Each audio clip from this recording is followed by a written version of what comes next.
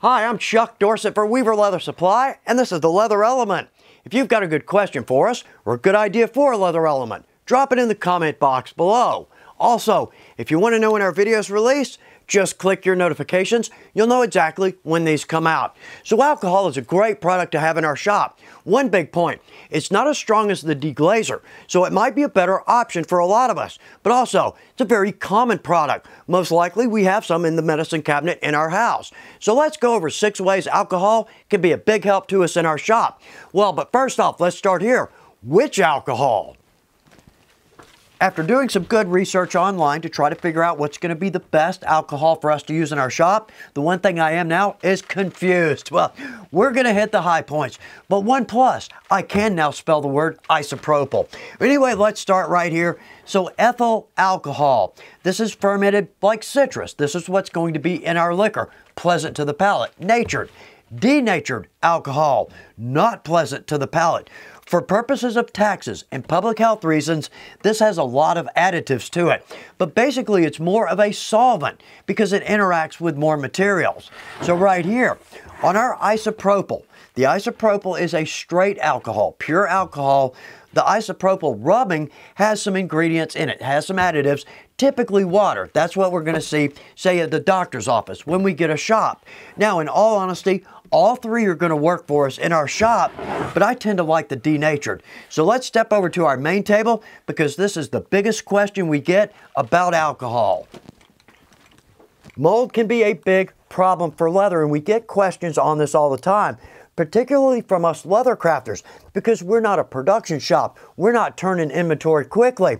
So we roll up a hide, we leave it on our shelf for some time, we open that up and we've got small spots or streaks of mold. If we catch these early, they are not an issue. Well, the problem is, and I don't know if there's any science behind this, but over 40 years of being in the leather industry, a leather shop is one of the driest places I've been. Leather is a sponge for moisture. Well, there's our problem. If it sits, it's going to be a problem. Now, if we catch it early, we can knock this out. But if we don't, what's actually going to happen is that mold is going to push up on our top grain. We're going to get a pretty good sized blemish. Now, we could absolutely get rid of mold with a little soapy water. It's going to knock that out. Problem is, that's not knocking out the mold further in the leather and it's going to continue to grow. So let's take some alcohol. Whether we've got a small spot or a streak, let's just daub that area with our alcohol. But let's make sure we get alcohol to wick through the hide. Now again, if it's just a small spot, I've never had an issue with these with dye or top coat. But let's just catch it early. Keeping the tools in our shop clean is an absolute necessity, both for accuracy and durability.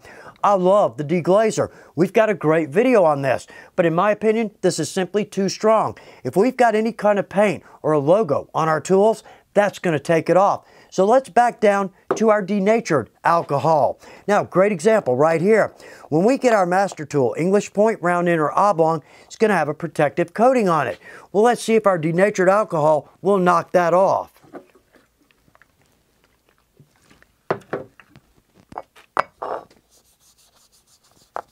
Now, it took just a little bit of rubbing, but not much, maybe 8-10 seconds. Well, there we go. That tool is clean and beautiful, and we can do that with so many of our tools. Most of us dye our projects, and it's usually not an issue, but we all have accidents with dye, and that can be a mess. Now, when we're dip dyeing, we can always use gloves, and usually I get no dye on me at all. But here's the problem. For any of us that have done some good dyeing, we know it's easy to get a small pinhole in the end of that glove. We take off that glove and we've got a finger that's a beautiful walnut or mahogany. Let's just add some top coat. It'll look fine. Actually, we're made out of leather and we, we will dye just as well. So it's good to have a hand cleaner in our shop. Now the deglazer, simply too strong to use on our hands. I don't want to do that. So for a good cleaner, the isopropyl or the rubbing is going to do nicely. But also the materials we use when we're dyeing.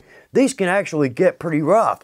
Now the deglazer, again we've got a video on that, really cleans these up. In fact, that was pretty rough. But how about the denatured? Let's try that and see how that works with cleaning out our dye bins.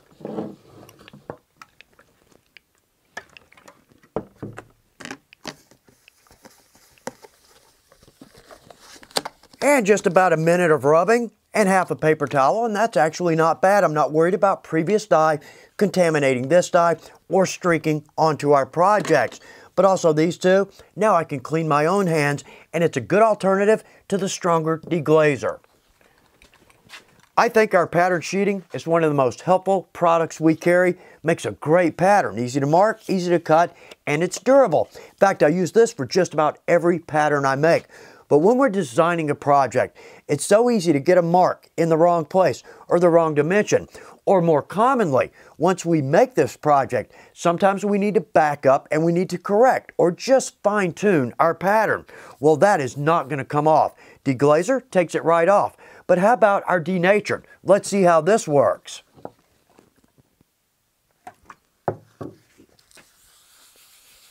And there we are, just like an eraser, that comes right off. And we are ready to mark that pattern again.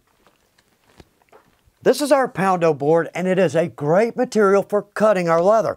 It allows our knife to sink in just a little bit below the surface. So on our leather, we get a very clean cut. Here's the problem. When these are new or they've been in our shop for a while, this can actually rub off on the face of our projects. I've had this happen several times. So how about let's clean this, see what comes off of it.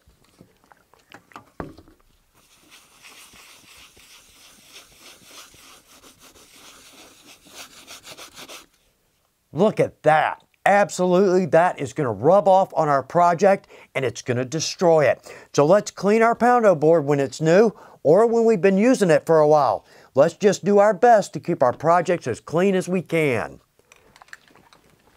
Another work surface in our shop that we have got to keep clean is our marble with projects. Typically on final assembly, we're flipping that project back and forth. I don't want anything rubbing off on the face of that project. But because of the nature of our marble, we never see things like glue, oil, wax, dye, top coat antique, and every one of those can build up and then rub off on our project. So let's go with our denatured, keep our marble clean, and that's something we never worry about. The alcohol is a great substitute for the deglazer, and most likely we have some in our medicine cabinet. But the bigger point here, if we keep our work surfaces clean and we keep our tools clean, well, we are definitely going to see that in the outcome of our projects. I hope this is good information for you. Thanks for taking time to watch The Leather Element. Good luck with your projects.